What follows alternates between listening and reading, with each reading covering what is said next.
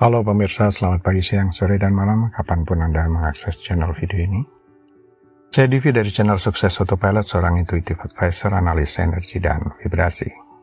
Membahas seputar Law of Attraction Indonesia melalui pendekatan metafisika dan hukum spiritual alam semesta. Dan untuk video Law of Attraction Indonesia ini, terbagi menjadi beberapa bagian yang pemirsa bisa ikuti untuk mendapatkan gambaran atau materi yang utuh dan lengkap. Untuk itu, link-link video yang terkait sudah saya pasang di deskripsi di bawah ini. Bella simak terus videonya sampai habis, silahkan subscribe buat yang belum.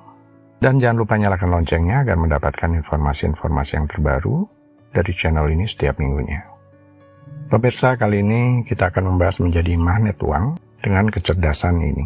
Jika Anda tidak tumbuh dalam keluarga yang sehat dan mapan, atau jika sistem tempat Anda dibesarkan tidak mendorong citra diri yang sehat, kebiasaan disiplin diri, bagaimana Anda dapat tumbuh melampaui keterbatasan seperti itu dan mengembangkan hal-hal untuk diri Anda sendiri?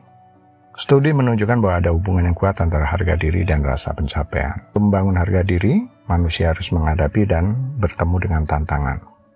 Tidaklah cukup bagi orang tua atau orang lain untuk hanya memberitahu Anda hal ini. Anda harus menggunakan kemampuan sendiri untuk mencapai sesuatu yang sulit atau kreatif. Anda harus mengalaminya secara langsung dan terlibat dengan kemampuan Anda sendiri untuk mewujudkan sesuatu. Bersama alam semesta membuat sesuatu itu terjadi dan terus bergerak. Dengan kata lain, Anda harus menunjukkan kepada diri sendiri apa yang memang dapat Anda lakukan. Dengan menetapkan tujuan untuk diri sendiri dan mencapainya serta bersedia mengalami kegagalan di awal dan tetap berjalan, serta mengambil beberapa resiko yang telah diperhitungkan tentu saja, Anda dapat membangun rasa harga diri. Keyakinan ini tidak tergantung pada pengakuan dari luar atau pengalaman masa lalu dalam keluarga Anda. Termostat kaya. Termostat keuangan adalah jumlah yang Anda rasa nyaman, bukan jumlah yang ingin Anda hasilkan per bulan, atau yang Anda inginkan. Itu adalah jumlah yang Anda miliki dan yang Anda rasa sangat familiar. Contoh, menurut Anda, termostat keuangan Anda adalah sekian rupiah seminggu atau senilai gaji rata-rata yang Anda terima setiap bulannya. Kebanyakan orang tidak menyadari karena menjalani hidup secara otomatis. Jadi melakukan sesuatu tanpa benar-benar memikirkannya. Mereka mendengarkan stasiun radio yang sama, memesan makanan yang sama, dan memiliki jenis pikiran yang sama setiap hari. Padahal seperti kata pepatah, jika Anda terus melakukan apa yang selalu Anda lakukan, maksudnya melakukan hal-hal yang sama, Anda hanya akan mendapatkan lebih kurang sama. Seseorang yang termostatnya di setel sangat tinggi saat kondisi keuangannya terpuruk, pikirannya akan mampu menghasilkan cara cepat mengembalikan uang ke dalam hidupnya. Jika mereka kehilangan semua uang mereka besok, mereka akan mendapatkannya kembali dalam beberapa tahun. Inilah mengapa perbedaan antara pola pikir kaya dan pola pikir miskin tidak dapat diukur dengan jumlah uang yang mereka miliki di bank karena ini adalah jumlah uang yang dapat mereka pegang secara wajar dan normal di pikiran mereka. Ada banyak penelitian yang menunjukkan bahwa orang kaya mendadak, baik itu melalui kemenangan lotre atau warisan, kemungkinan besar akan dihabiskan dengan cepat.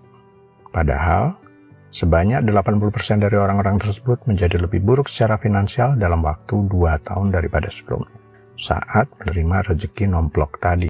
Melalui serangkaian investasi yang buruk dan pengeluaran yang tidak perlu, pikiran bawah sadar segera mengembalikan orang-orang ini ke tingkat nyaman finansial awal mereka. Ya, uang adalah topik yang selalu menjadi perbincangan hangat di seluruh dunia, baik kita menyukainya atau tidak. Uang adalah bagian penting dari kehidupan, namun sangat sedikit yang mempertimbangkan aspek emosi dalam hubungan mereka dengan uang. Itulah mengapa penting untuk memahami bagaimana emotional intelligence atau EQ dapat mempengaruhi cara kita memandang, mengelola, dan mengalokasikan uang kita. Salah satu tokoh yang menonjol dalam menghubungkan EQ dengan uang adalah Ken Honda. Seorang penulis dan pembicara asal Jepang yang menyoroti pentingnya memahami perasaan dan emosi terkait dengan uang, dan bagaimana hal ini dapat mempengaruhi kekayaan dalam jangka panjang. Apa itu emotional intelligence atau EQ? Emotional intelligence adalah kemampuan untuk mengenali, memahami, mengelola, dan mengungkapkan emosi dengan baik. Ini mencakup empat komponen utama. Kesadaran emosi, kemampuan untuk mengenali dan memahami emosi kita sendiri. Kemampuan menyusun emosi, kemampuan untuk mengelola emosi kita dengan efektif termasuk cara mengatasi stres dan tekanan.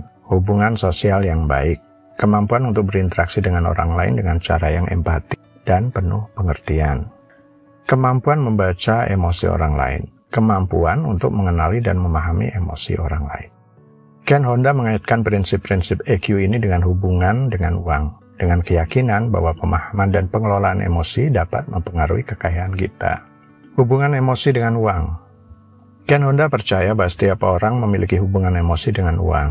Emosi ini bisa mencakup rasa cemas, cinta, benci, takut, atau bahkan bersalah terkait uang. Bagaimana kita merasakan uang, baik itu sejatinya atau hanya dalam pikiran, memainkan peran besar dalam keputusan keuangan. Ketika emosi positif terkait dengan uang, kita cenderung lebih terbuka untuk menerima uang dan mengelolanya dengan bijak. Sebaliknya, emosi negatif terkait dengan uang dapat membatasi aliran keuangan dan mengakibatkan perilaku keuangan yang tidak sehat. Menurut Ken Honda, kita perlu melihat uang sebagai energi positif yang bisa mengalir ke dalam dan keluar dari hidup. Dengan memahami emosi kita terkait uang, kita dapat memulai perjalanan menuju kekayaan berkelanjutan. Filosofi kekayaan berkelanjutan Salah satu prinsip inti dalam pemikiran Ken Honda adalah filosofi kekayaan berkelanjutan. Dia percaya bahwa kekayaan yang sejati bukan hanya tentang memiliki banyak uang, tetapi juga tentang memiliki hubungan yang sehat dan positif dengan uang. Ini mencakup menerima uang dengan sukacita, yakni menerima uang dengan senang hati adalah kunci untuk menjaga arus keuangan yang positif. Terima kasih kepada uang, menghargai setiap rupiah yang kita miliki, bahkan yang kecil nilainya, dapat menciptakan energi positif seputar keuangan. Memberikan uang dengan sukarela, Memberikan uang atau berinvestasi dalam kebaikan adalah cara untuk menciptakan lingkaran positif dalam keuangan kita. Menghindari uang negatif. Hindari menghabiskan uang dan energi pada hal-hal yang menimbulkan emosi negatif terkait uang. Melalui penerapan filosofi kekayaan berkelanjutan ini, Ken Honda meyakini bahwa kita dapat mencapai kekayaan yang lebih sehat lanjutan, di mana uang adalah alat untuk mencapai tujuan, bukan akar penyebab masalah. Bella pemirsa itu bagian ke-333 dari video Law of Attraction Indonesia. Sampai di sini dulu ya.